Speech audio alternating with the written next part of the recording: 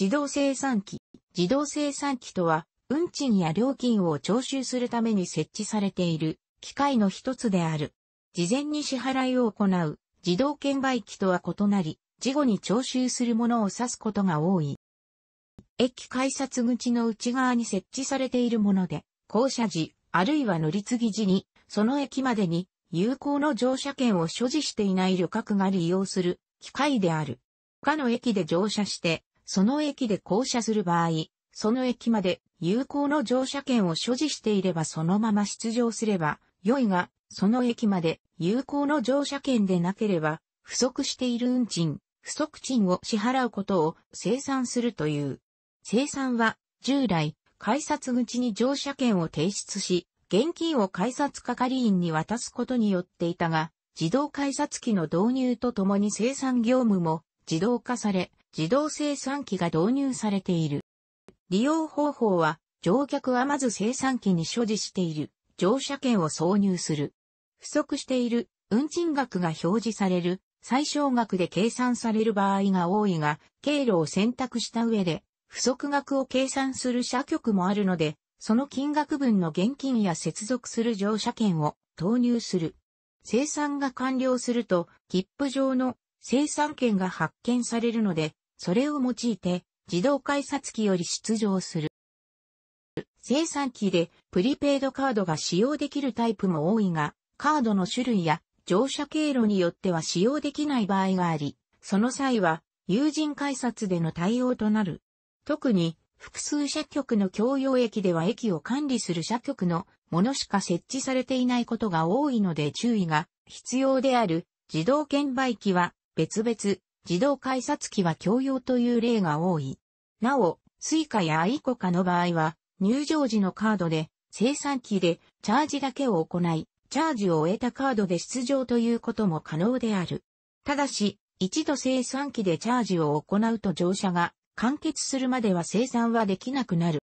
また、連絡改札を有する駅や改札外乗り換えが必要である駅などでは、乗り継ぐ先での運賃まで精算可能な乗り継ぎ生産に対応した生産機が設置されている場合もある。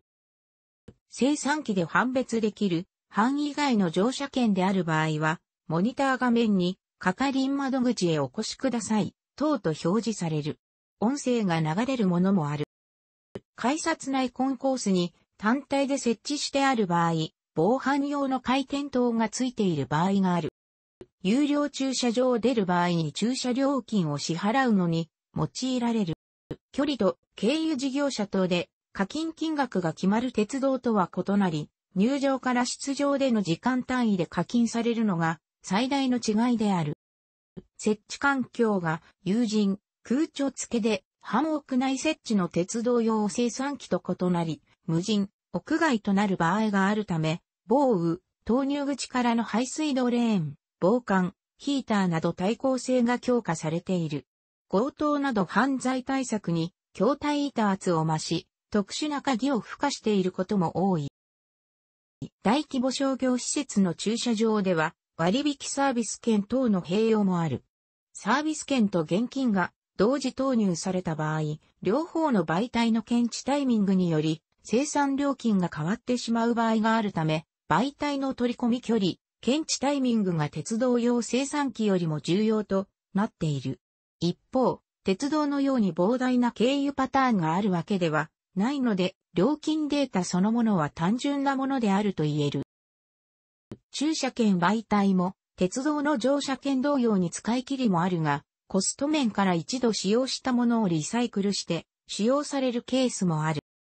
自動生産機のある駐車場は入場時は駐車券を受け取るだけであり、金銭取引は発生しない。出場時に発生金額を一括で支払う。課金単位は、事業者の判断で10分単位、30分単位、1時間単位、1日単位など様々である。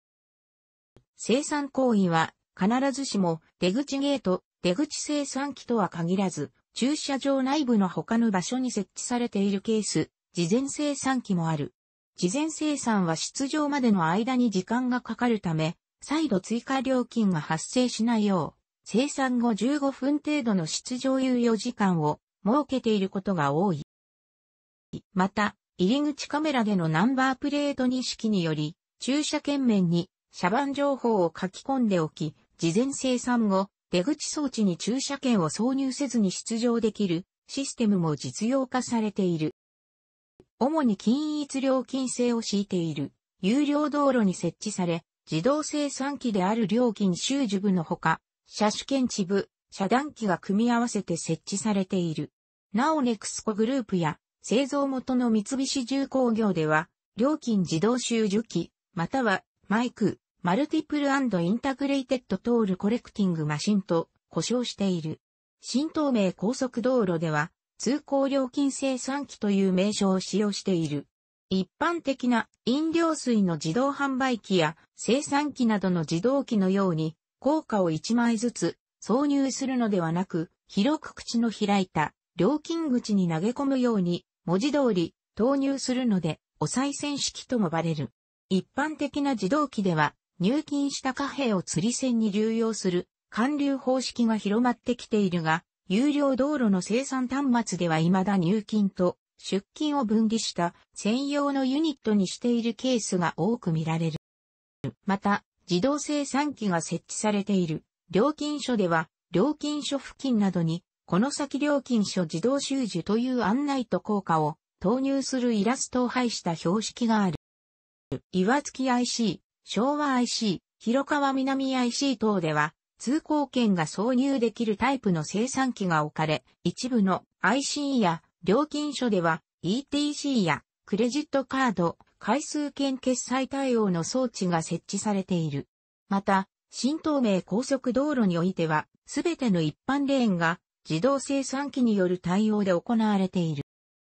医療費自動生産機と称し、大規模な病院で近年導入が増えている。患者が診察券を挿入口に挿入することで情報を読み取り、医療費を生産し、請求額がモニターに表示される。入金し、生産が終了すると、診療明細書と領収書が自動的に発行される。楽しくご覧になりましたら、購読と良いです。クリックしてください。